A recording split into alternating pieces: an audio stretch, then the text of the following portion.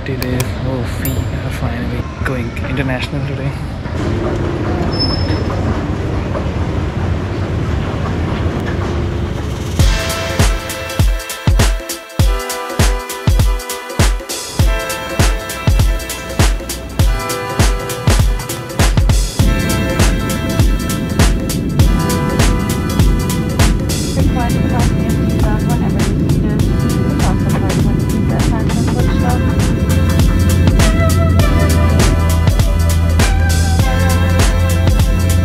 We have a transit time of 6 hours in the Krakow city of Poland. Better go and check out the city while we are here.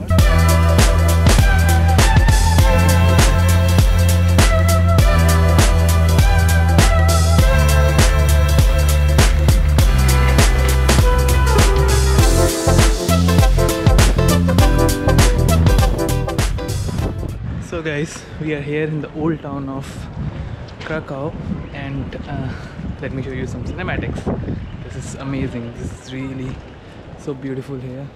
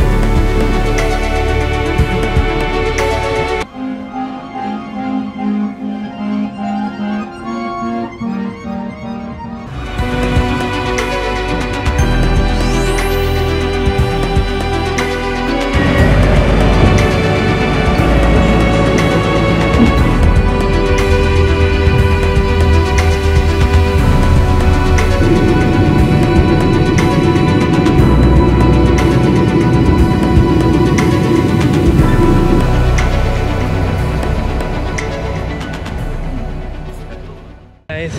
Good morning. It's a beautiful day here in norway. I'm in stavanger right now and got ready breakfast now.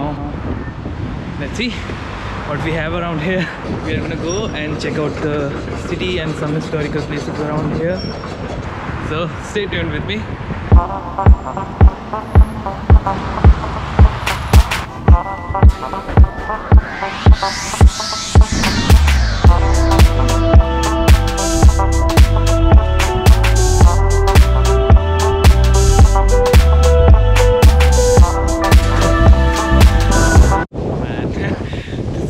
windy here right now.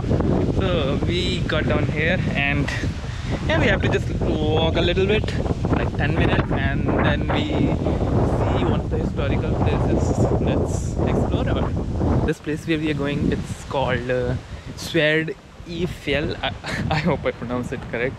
I don't know the Norwegian so yeah it's, it's basically three swords and history I will, I will tell you after I read about there. So I haven't uh, checked on Google what, what's the history about it, but I'll show you around. Let's go.